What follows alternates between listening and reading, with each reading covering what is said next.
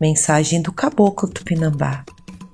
A decisão de evitar ou se afastar de pessoas conflituosas, meu filho, minha filha, é longe de ser um ato de egoísmo.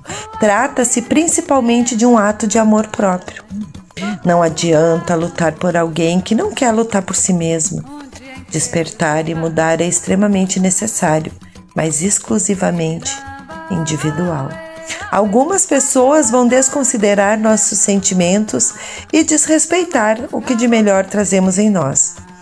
Preferem afundar e levar você junto, ao invés de aproveitar e se segurar na sua tentativa de ajuda. Por mais que você demonstre seu cuidado e respeito, por mais que lhe trate com preciosidade, que dê sua vida por esta pessoa, ele demonstre sentimentos verdadeiros, a maneira errada de agir e pensar persistirá. Então, o jeito é afastar-se. Tenha o amor próprio, tenha respeito e compromisso com você mesmo. Meu filho, minha filha, na verdade, ninguém recebe o que não sabe ter e valorizar. Procure colocar na tua vida pessoas que verdadeiramente gostem de você, motivem você e inspirem você. Melhorem o que você é e façam você se sentir muito feliz.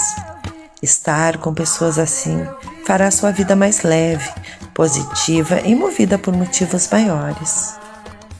Não te apegue ao que te faz sofrer e nem ao que faz sofrer teus semelhantes.